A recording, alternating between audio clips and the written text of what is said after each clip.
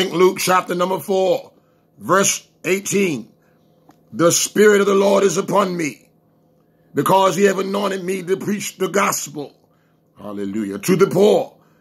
He have sent me to heal the brokenhearted and to preach deliverance to the captives and recovering of sight to the blind, to set at liberty to them that are bruised, to preach the acceptable year of the Lord, to heal the brokenhearted.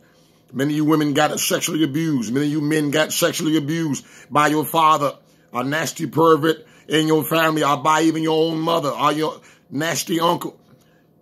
They may have got molested too. Well, just because you got molested, don't do it to your daughter. Don't do it to your father. Tell yourself the buck stops right here.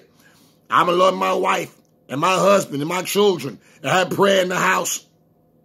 It's not your fault that you got sexually abused. So stop blaming yourself. You're not dirty. Jesus loves you and Jesus can heal your broken heart right now and break this generational curse.